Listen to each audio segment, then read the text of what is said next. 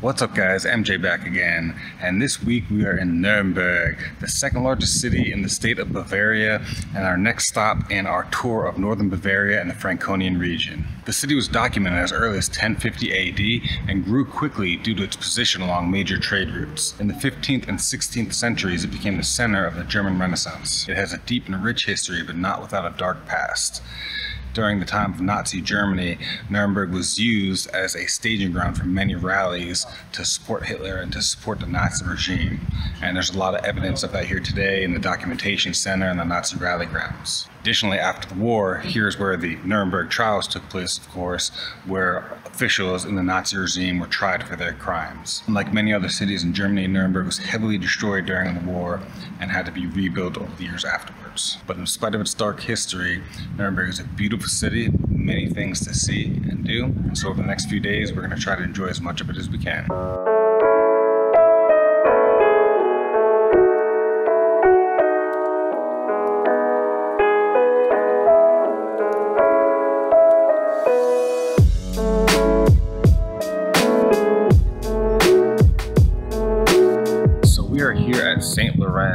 Medieval church built originally around 1400. It actually became one of the first churches in Germany to be a Lutheran church in the year 1525. The church was built and paid for by the local city council and the wealthy members of the city. When I first saw the front of the church, it actually reminded me a lot of Notre Dame in Paris. It's really beautiful. Apparently, there is some controversy on the church right now because there are some plans to modernize the interior to make it more, you know, usable.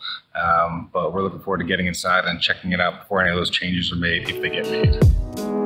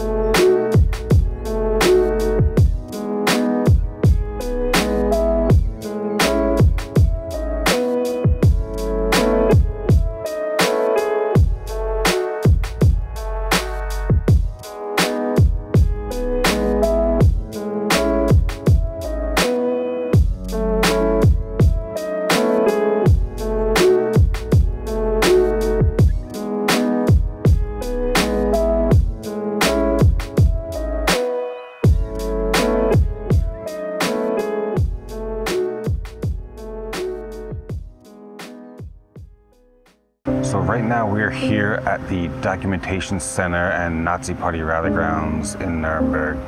It is an important part of the history here in Nuremberg and something that you know you really need to come check out to, to see the dark history of the city.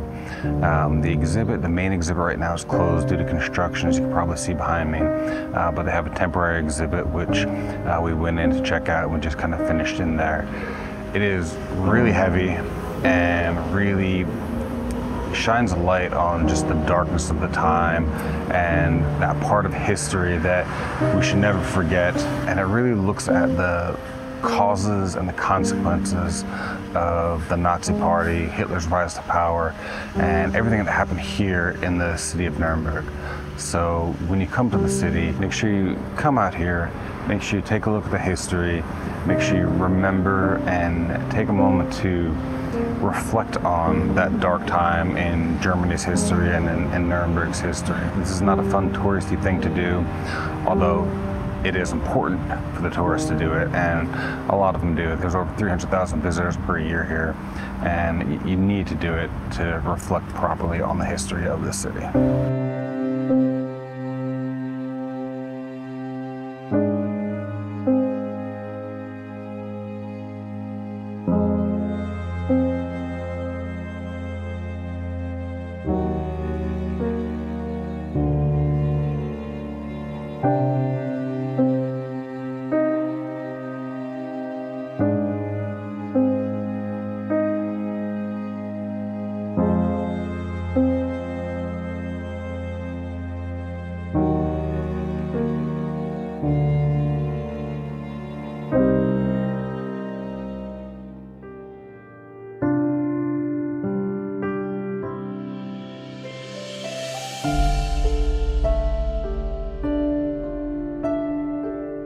Currently walking down the Straße der Menschenrechte, the Street of Human Rights.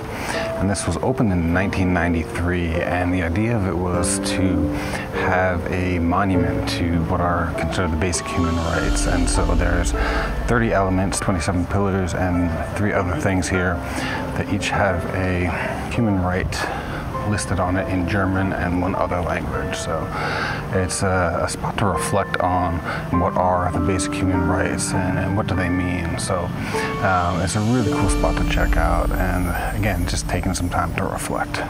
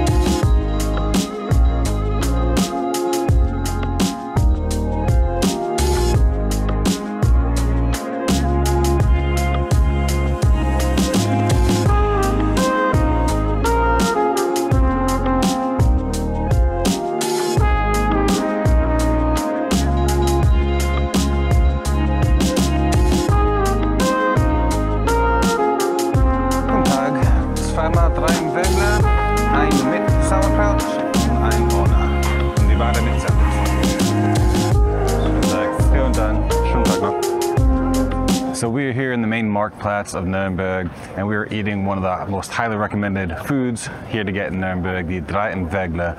And we have both mit Senf, both with mustard, and one with sauerkraut. So we're gonna try these out and see if they live up to the hype. I to. Quiet. That's really, really good. And definitely think it lives up to the hype.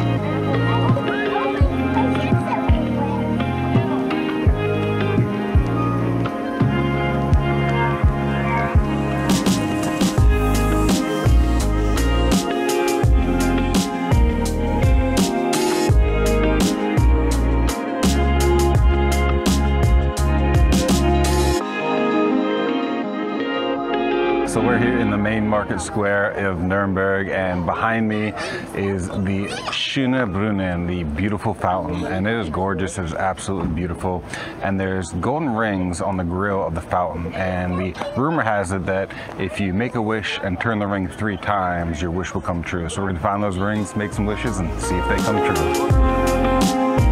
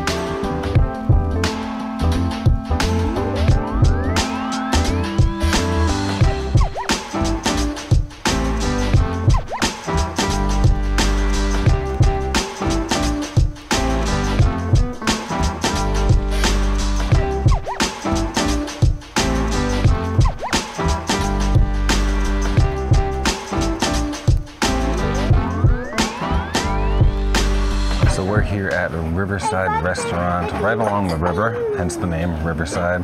We decided to change it up and go for Italian tonight instead of the traditional German or Franconian food that we've been having, just because we needed a little break from that.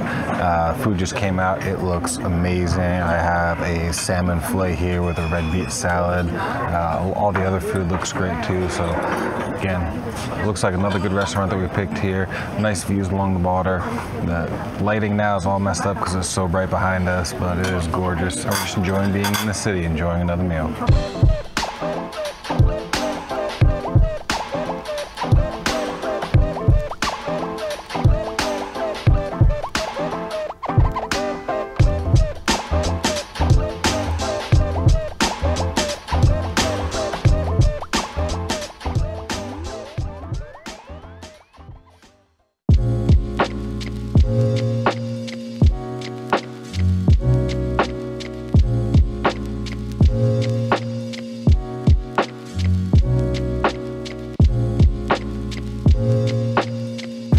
Are here on Weißgerbergasse. It's known as one of the most beautiful streets in all of Germany. It's actually a very well preserved historic street here in Nuremberg with around 20 half-timbered houses that were not destroyed during the war.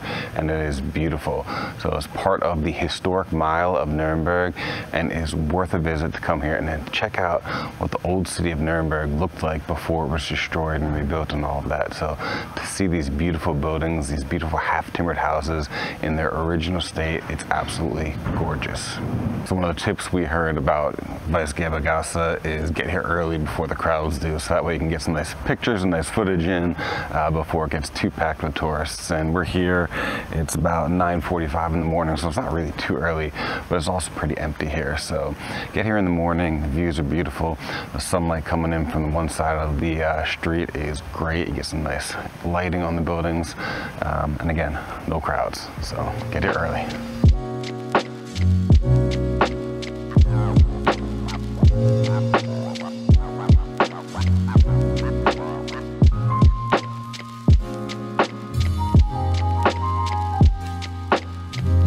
Behind me is Saint Sebald, one of the three major churches here in the center of Nuremberg. And it is a Gothic style church built in the year 1225. And it was named for Sebaldus, an 8th century hermit and the patron saint of Nuremberg.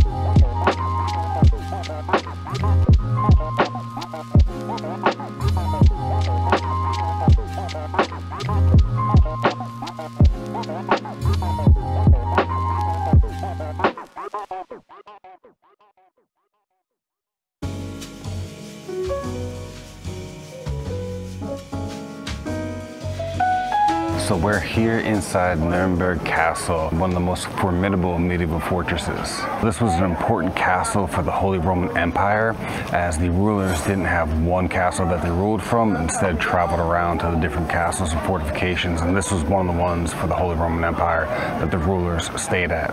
Construction of the castle began as early as 1000 AD and then was completed and added to over the next few centuries. After various levels of destruction over the years um, in the 30s, it was actually rebuilt to what was thought to be its original state by Nazi Germany. And then this is another building that was destroyed during the war. And then it took about 30 years after the war for this to be rebuilt once again to its current condition. So we're going to be taking a look around the grounds, taking a look inside the castle, uh, taking a look from the views because we are up on the hill here and uh, just enjoying another time here in Nuremberg.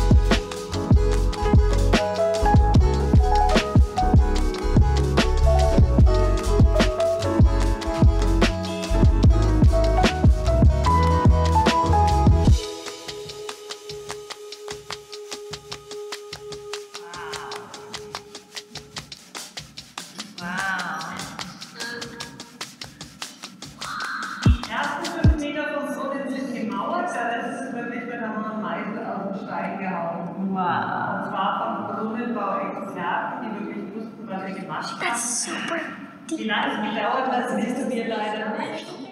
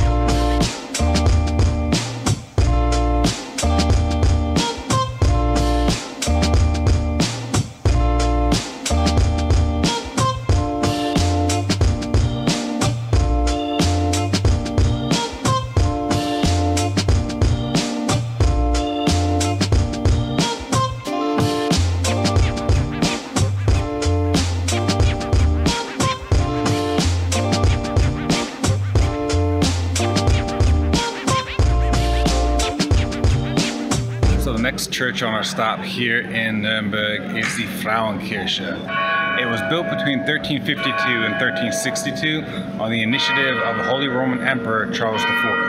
Over the years, it's been remodeled a number of times, and over the years, it's also switched from a Catholic church to Protestant church and back again. Like many of the buildings here in Nuremberg, it was destroyed during the war, and not too long after the war, they began the rebuilding process. Another reconstruction was finished in 1991, and I believe that is what brought it to its current state now. So this is one of the three major churches in the city, and now we're going to go inside and check it out.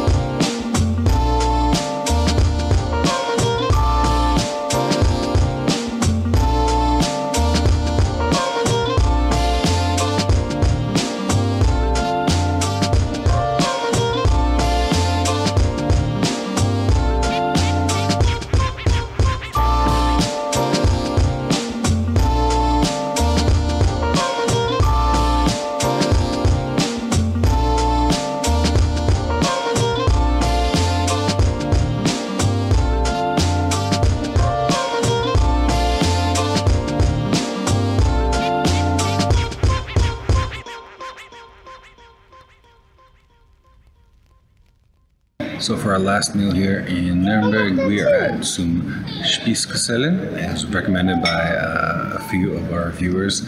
So we're here enjoying our last meal. I ordered the Schäufele, which was also recommended by some of our viewers. So I'm looking forward to digging into this. I had my local beers from uh, the restaurant itself, and it is delicious. So last night here in Nuremberg, and uh, enjoying our last meal before we pack up and move on to our next city.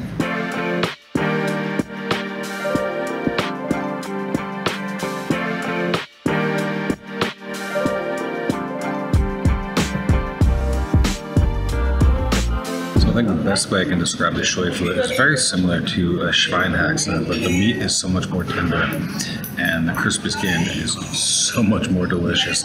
It reminds me a little bit of pork rinds, but obviously much, much better. So maybe like this kind of blend of pork rinds and bacon, but it's really good. And that layer of fat between the crispy skin and the meat is delicious. So I'm really enjoying this. So thank you to those of you who recommended this as something to get here in Nuremberg because it was worth it. And just like that, our time in Nuremberg is over. We had a lovely couple days here. It is a beautiful city with a rich history, definitely worth visiting. Food was delicious at pretty much every place we went to, so we had a great time here. And if you're in the northern Bavaria area, I highly recommend coming to Nuremberg. Uh, it is totally worth the stop. The history here is amazing. The city is beautiful. The churches are gorgeous. The food was delicious. All the people we met and interacted with have been awesome, super nice, as as now is expected for us in any of our interactions with Germans. So it's been a great time here, and we're looking forward to our next stop and the next adventure.